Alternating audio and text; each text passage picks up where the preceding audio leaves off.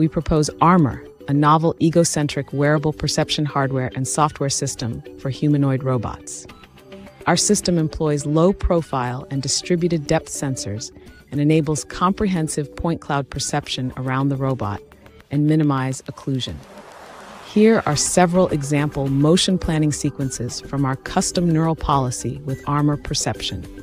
Our system achieves nimble movements and ensures collision avoidance in dense environments, even under easily occluded areas, analogous to under the table or inside the drawer.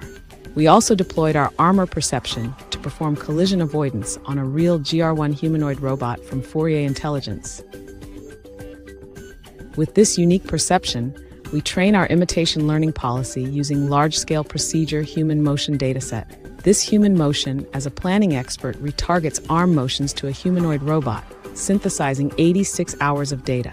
The one second length of motion, the pose at zero seconds becomes the initial pose, and at one second is conditioned as a goal pose. We generate tight obstacles around this human motion and use it for collision avoidance motion. We also have an emergency stop and collision free motion to keep diverse situations.